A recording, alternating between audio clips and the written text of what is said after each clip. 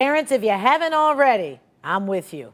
We got to get ready to pay for these school supplies, right? The National Retail Federation says families will spend an average, hold on, of almost $900 on school supplies this year. And more than one third of consumers are cutting back on other spending just so that they can pay for school supplies.